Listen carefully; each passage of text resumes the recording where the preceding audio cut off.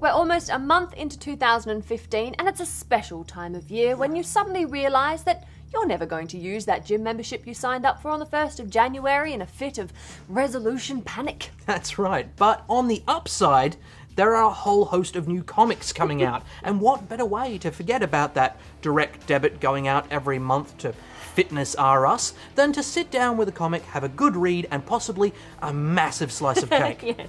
The first new series we're going to take a look at will be unfamiliar to exactly nobody.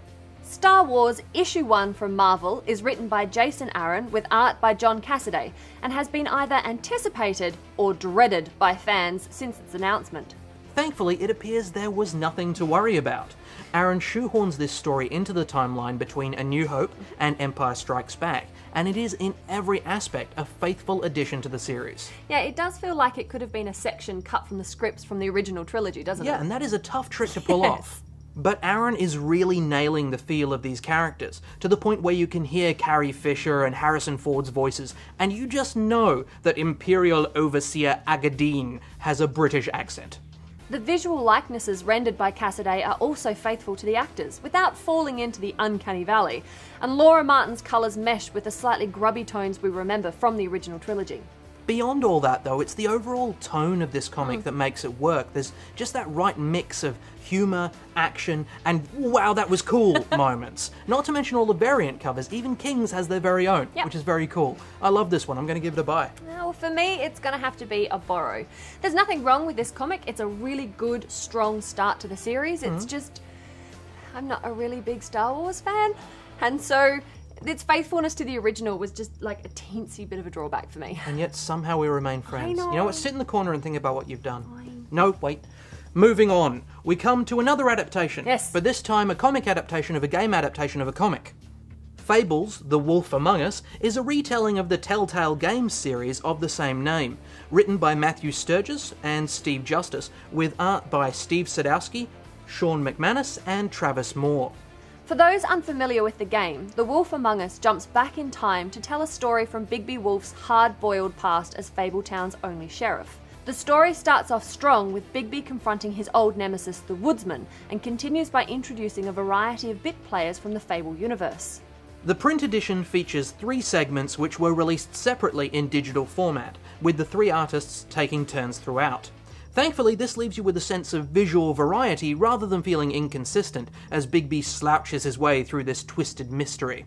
At the end of the day, this is a good spin off from Fables, but I have read better. Hmm. It's a fine issue number one, but I didn't love it, so I'm only going to give it a borrow. Fair enough. Well, I'm going to get a bit awkward on this one and actually give it two separate ratings. No, that's cheating. Depending on who's reading it.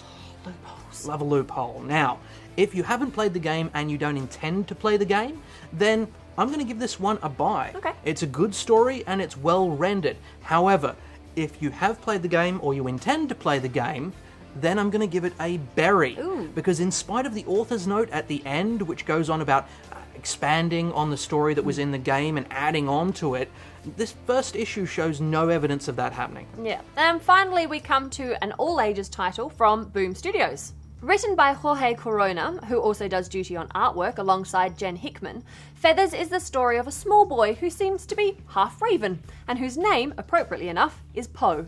The opening narration by two unseen figures representing order and chaos introduces us to a sprawling slum known as the Maze, and to the shining, perfectly symmetrical city beyond. The comment on social inequality is clear but not heavy handed. Instead, the focus is on Poe, who spends his days leaping unseen among the rooftops, tormenting the city guards. And also on Bianca, a little girl who lives in the White City, dreaming of adventure to shake up the ordered monotony of her life. This first issue is mainly about setting up the background and the major characters, so the shape of the story is still yet to be hmm. seen. But the artwork, that's phenomenal. I knew you'd like the art. It's at its best for me during those segments in the maze, just so beautifully cluttered and chaotic. Yeah, but that's kind of the point that Hickman and Corona are making. The maze is fascinating but dangerous, and the city is safe but tedious. I think that's represented perfectly, and it sets the stage for a really lovely story.